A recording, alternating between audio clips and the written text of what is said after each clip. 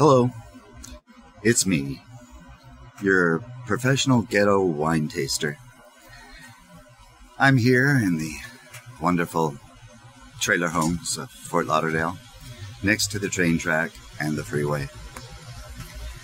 And today, I'm going to be testing for you wonderful Yellowtail Sauvignon Blanc.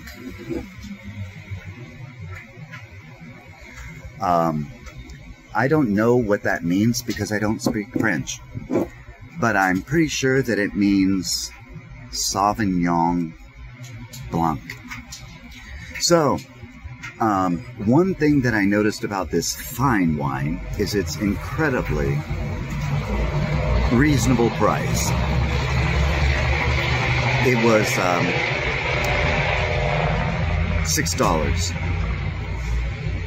Another thing that I noticed is that they were so kind as to not bother with that incredibly inconvenient cork thing. Oh, no need for a corkscrew here, because this has a twist off cap. That is the true mark of a fine wine. Now let's just give it a try, shall we? Now, I'm in the ghetto, so we don't have wine glasses. I'm just using a standard water glass. It does bring down the high quality of this wine, and I apologize for that because I should be using a, an expensive wine glass for this wine tasting.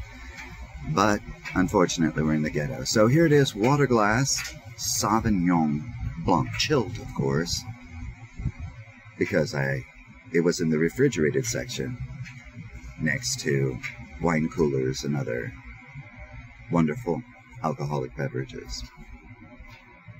So let's give it a taste, shall we?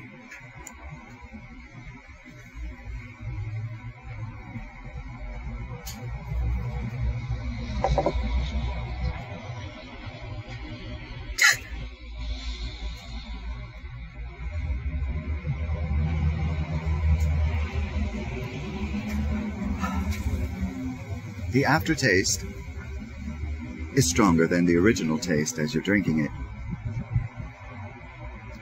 I would say, from a professional wine taster's point of view, it has subtle notes of urine and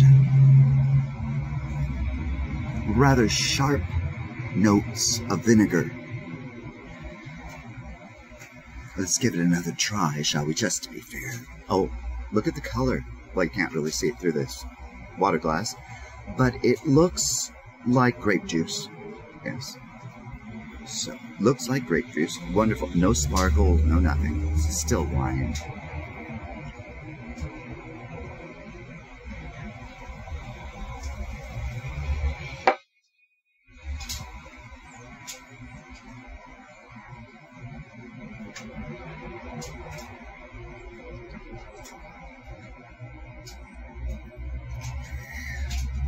The urge to spit it out of your mouth as you're drinking it is rather strong.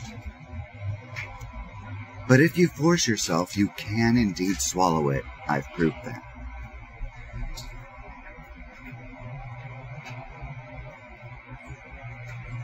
So, here from the ghetto, in the trailer parks of Fort Lauderdale, I give Yellowtail Sauvignon Blanc Twist Off Cap $5 wine.